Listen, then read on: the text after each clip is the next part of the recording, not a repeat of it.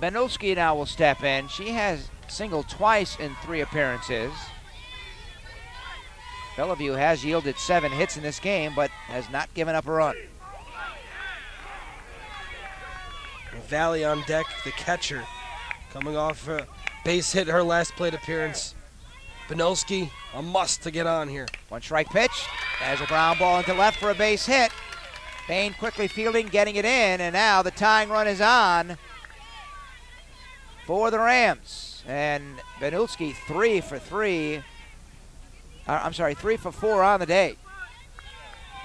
Here's another look again. She just stays with that pitch, going the opposite way, finding the hole in the infield.